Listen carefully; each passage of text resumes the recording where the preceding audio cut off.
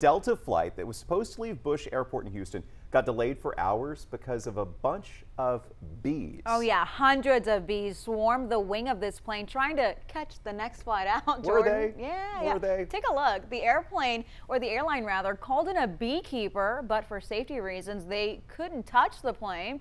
Pest control wasn't able to spray them off either. Finally, after three hours, the pilot turned on the engines to see if pushing back from the gate would do anything, and that worked. Hmm. Experts say while it's not rare, it is not, while it is rare, no.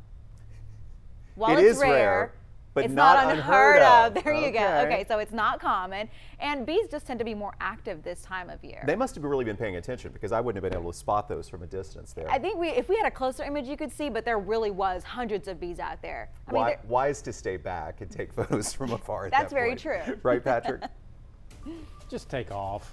That's what they did. oh.